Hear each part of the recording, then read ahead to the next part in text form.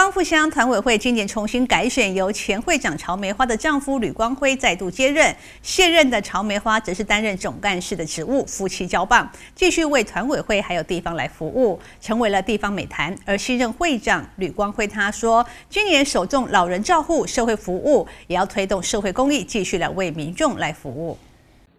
光复乡救国团利用周末假日，新任会长吕光辉带领团队职工们扫街，清理光复乡的市容，好迎接农历新年的到来。记者团队相互支持，来为地方服务，也备受乡亲民众的肯定。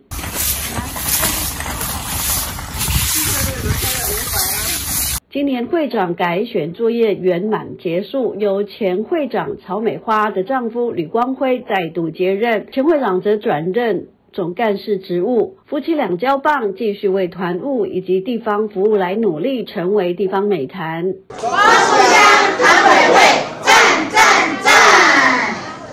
给他们爱的鼓励，一次就好，一二三。好，谢谢。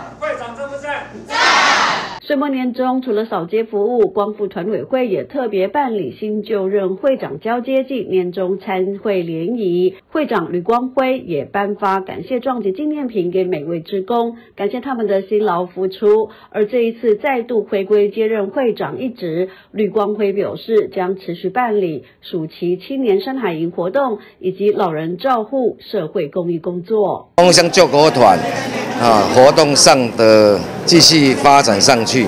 那我们的山海营，哦，我会更加努力把它承办到，呃，低收入免费的阶段，好，那还有一些老人家的照护，我们也尽量去去做。经营水电事业，这一次是第三次接任会长一职的吕光辉，除了让团务继续茁壮发展，也希望有热忱服务社会的年轻朋友加入团委会，一起来为地方奉献一份心力。